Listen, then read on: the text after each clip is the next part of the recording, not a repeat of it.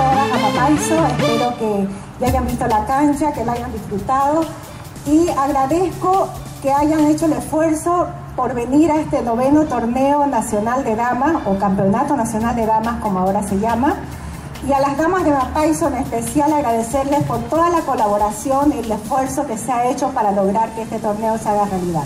Muchas gracias, diviértanse.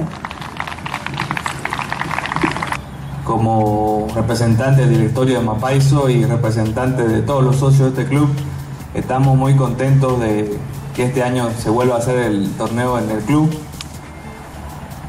Agradecidos con la presencia de todas ustedes, sabemos el esfuerzo que es viajar, venir, ir.